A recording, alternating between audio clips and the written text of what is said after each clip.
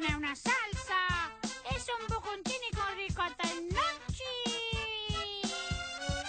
Boccarina.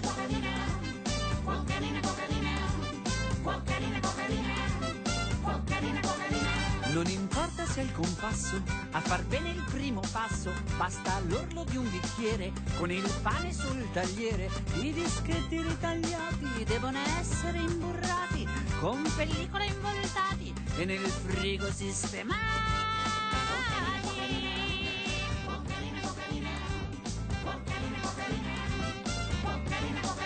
Or la ciotola prendete, mascarpone ci mettete per far bene queste cose, grammi 80 è giusta dose.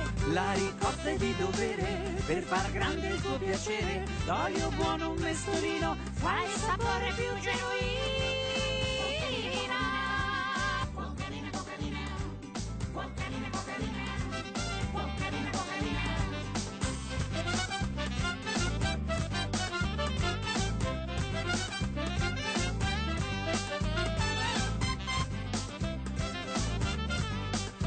Schiaccia, unisci, frulla e sbatti, perché il tutto si compatti. Sala meno e pepa un poco, come fa ogni buon cuoco. Quando è ora di servire, il tuo frigo devi aprire ed il pan che hai imburrato dentro il forno va passato!